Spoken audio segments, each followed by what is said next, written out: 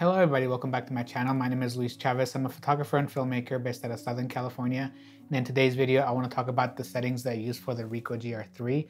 I know a lot of people have been asking me um, on my settings, both on YouTube and on Instagram. So I want to take today and just go over the way I set up this camera and just the, the way I shoot it every single day. So as most of you know, I'm a wedding photographer. So the settings on here is not gonna reflect that. This is just my everyday camera. So the settings that I use here are gonna be a little bit different than that they would be on a job. So uh, yeah, here we go. So to go over my favorite part of the Ricoh GR3 and the menu that I use the most is a sub menu that I use. So if you hit this button right here uh, on the Ricoh GR3, uh, it brings up this sub menu that you can customize. So the way I have this customized for the way that I like to shoot, since I'm not a street photographer, I'm, this is just day-to-day -day kind of camera, just a snapshot camera.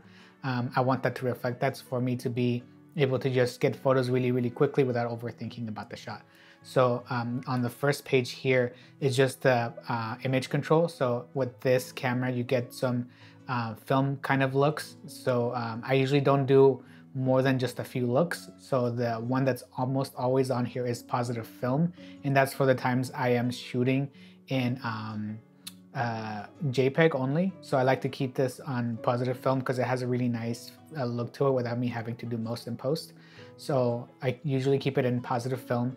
And the other one that I usually uh, change to is soft black and white and uh, soft monotone uh, primarily is just what I use for black and whites while I'm shooting and composing for black and white because sometimes when I shoot in uh, a lot of these cameras I like to kind of compose and look as if I was shooting for that specific film.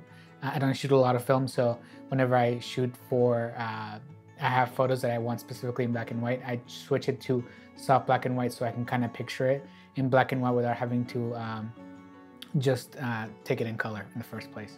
So those are the only two I touch. I don't usually use anything else. I know they have quite a few of them like standard, vivid, um, black and white, soft black and white, and hard black and white, and high contrast black and white. And like I said, I usually leave it at soft black and white. It's just the, the most pleasing look to my eye. And if not, I just keep it in positive film. And then they also have a bleach bypass, a retro look, HDR tone, and cross processing and then some custom ones that I just don't customize because like I said I like to use this camera as um, simplistically as possible if that makes any sense. So uh, I don't like to fidget with a lot of things. So a lot of this stuff is going to be standard um, if I'm completely honest. So the next one is focus and the focus is um, I usually keep it auto area auto focus and one of the best parts about this camera specifically is it has great touch autofocus here because it doesn't have a viewfinder or anything. So you're composing through the actual LCD. And so the autofocus here, uh, the spot autofocus is really, really snappy. So I never have to, I never have to worry about uh, whether or not I'm gonna get the exact focus I want because even when the camera catches focus on a specific uh, part that I don't want, I can right away recompose and refocus on the part that I do. So I usually keep it there, but they have quite a few other options that you can use just that select autofocus. And like I said it usually when I touch it it kind of goes to that anyway.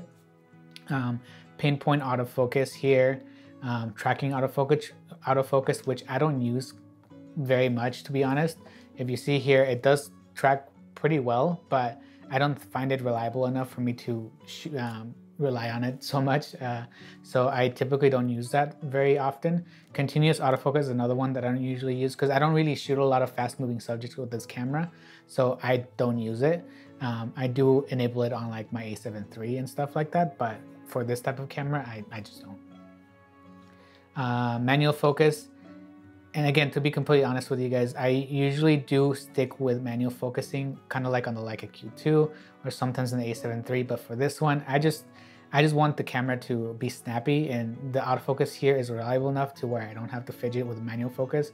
But I do know that there's some people out there on YouTube who have great videos on, on manual focusing on this camera, but I just don't do it. So I don't find that I will be very helpful in that sense. So um, yeah, I will try to link videos that I find who um, talk about manual focus as well as snap focus because again I don't use that very often because I'm not a street shooter uh, although I do enjoy watching street photography uh, videos I am not a primarily street shooting photographer but I do know that it has uh, this feature here and I know a lot of people like to use that as well.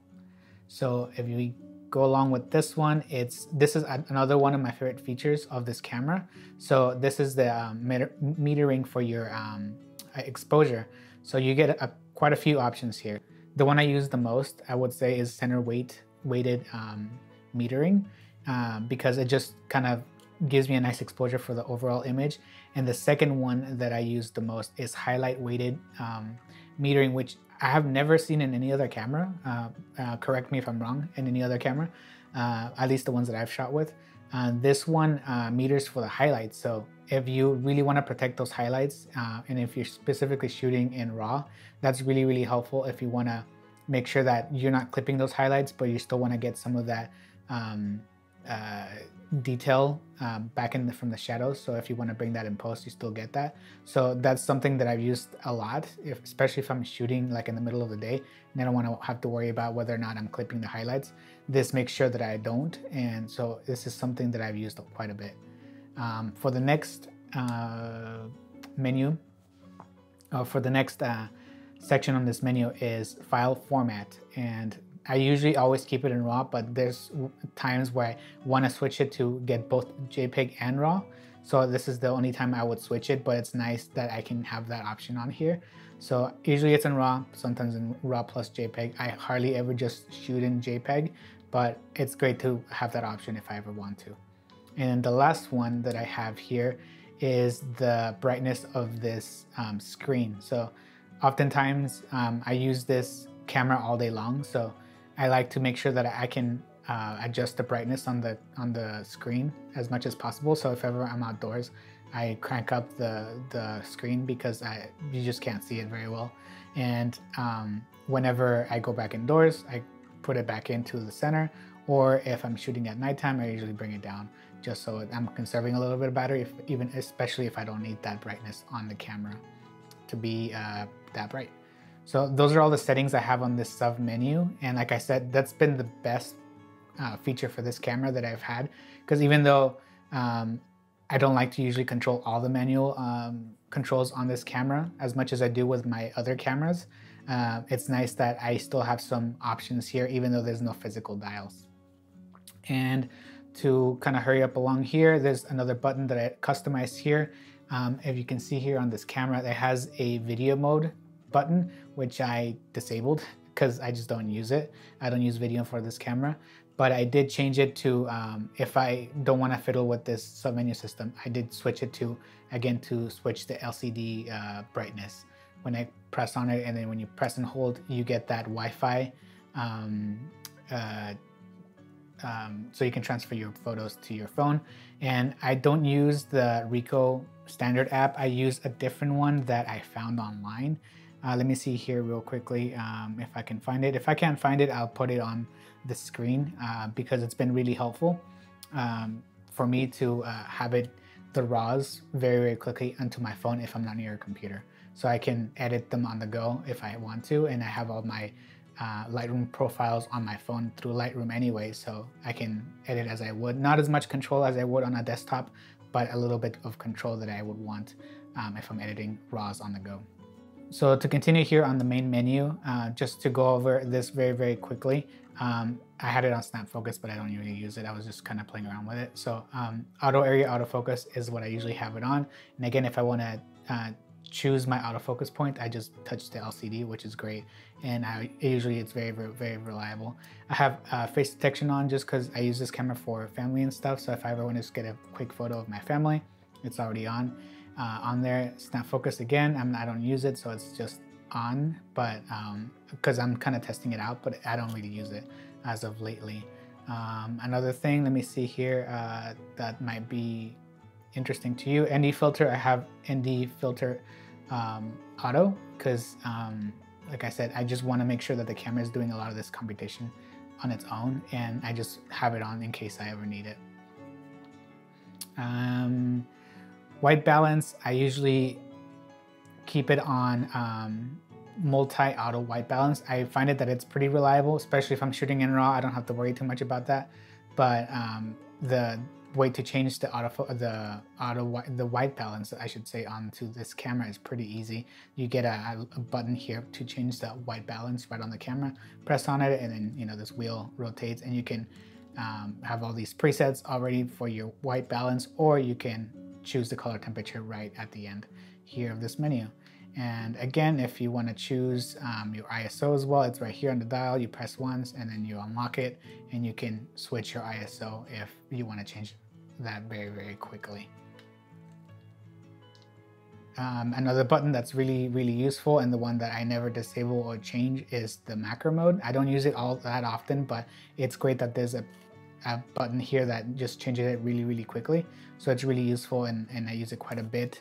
Um, if I'm like taking photos for flowers and stuff, but I, am glad that, that, there's a button here for that. Uh, on here, this is also the drive mode. I usually just keep it in single frame shooting. Um, I don't use a lot of uh, continuous shooting on this camera or um, any of these settings, honestly, because uh, uh, I just don't find a need for it. Uh, so this usually is all standard. Um, so yeah, I mean, hopefully this is helpful for people. I don't like to fiddle around with this camera too much because I just, like I said, I use it just uh, on auto mode as much as possible. Uh, I have my uh, user settings here saved on this, um, I don't know if I can, you can see it here, on, on this dial here, but it's just aperture priority mode, basically just um, all the settings kind of baked into here um, that I usually use, but um, I usually don't change it. There's very few times where I do change it to manual controls, but that's very rare for, for me. But yeah, it's it's a, a great little camera. Hopefully this is helpful to anybody. I'm not, um, I know there's other videos that really go really in, de in depth of all these settings, but uh, it's just not something that I do. I just did this video because a lot of people were asking me about it. And I hope that it's helpful for people who are not uh, specifically shooting for street and just shooting, they just want to get this camera for like their daily life or for families and stuff. So um, yeah, uh, I, like I said, I highly recommend this camera to people, uh, especially if you're either getting into photography or you want to get back to basics. This is a, a great little camera. And if you have any questions about anything in particular that I didn't go over, please let me know. Um, like I said, it's not an in-depth uh, review of all the settings, but I hope that it's helpful.